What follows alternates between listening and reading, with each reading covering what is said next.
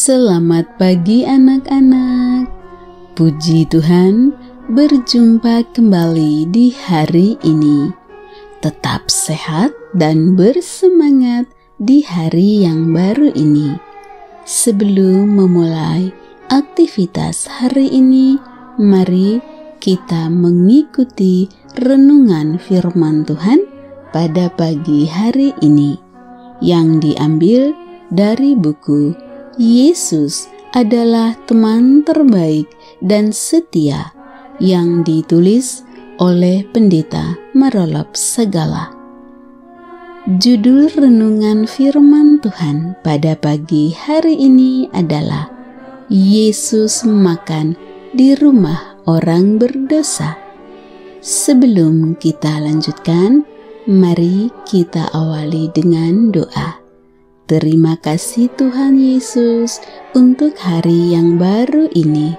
Sekarang kami siap untuk mendengar firman-Mu.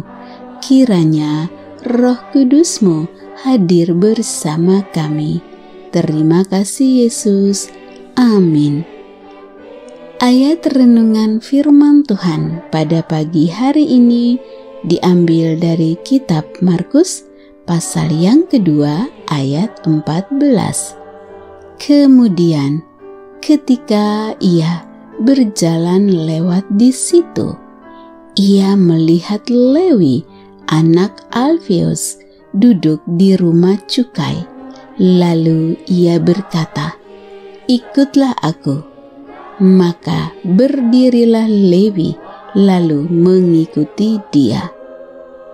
Setelah menyembuhkan seorang yang lumpuh, Yesus masih tetap di Kapernaum, dekat Danau Galilea. Ketika itu, selalu banyak orang datang dan mengikuti Yesus. Ketika Yesus pergi ke pantai di daerah Kapernaum, seluruh orang banyak datang kepadanya. Lalu ia mengajar mereka. Markus pasal 2 ayat 13. Sehabis mengajar, dia berjalan di pantai.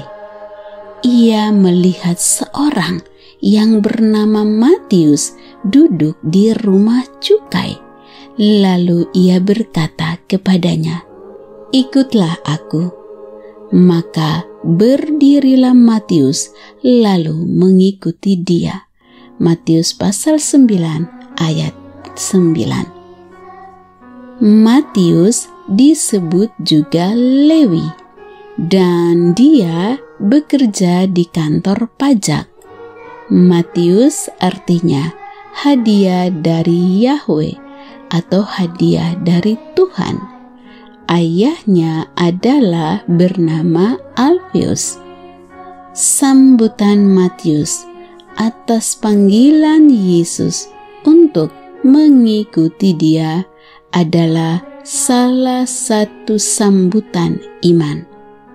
Dia meninggalkan pekerjaannya di mana banyak orang percaya bahwa tempat Matius bekerja adalah satu pekerjaan yang baik untuk mendapat uang dengan jumlah yang besar. Mungkin oleh karena sukacitanya atas panggilan Yesus, Matius mengundang Yesus makan di rumahnya. Tampaknya jamuan makan itu adalah sebuah pesta yang besar.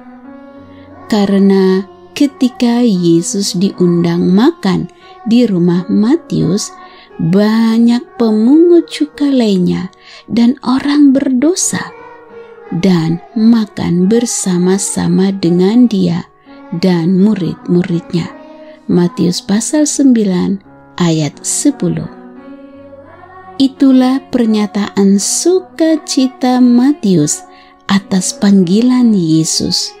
Dia mengundang Yesus makan di rumahnya dan juga mengundang sahabat-sahabatnya juga. Yang walaupun orang-orang Farisi menganggap mereka adalah orang-orang berdosa. Sukacita Matius atas panggilan Tuhan dinyatakan kepada Tuhan dan dinyatakan juga kepada orang lain. Dia mengundang sahabat-sahabatnya yang bekerja seperti dia di kantor pemungut cukai dan yang disebut orang berdosa yang ikut makan bersama Yesus itu boleh jadi adalah teman-teman Matius yang pernah bekerja di kantor pemungut cukai juga. Yesus memanggil orang berdosa untuk menjadi muridnya. Yesus sahabat kita itu mau datang dan makan di rumah orang berdosa.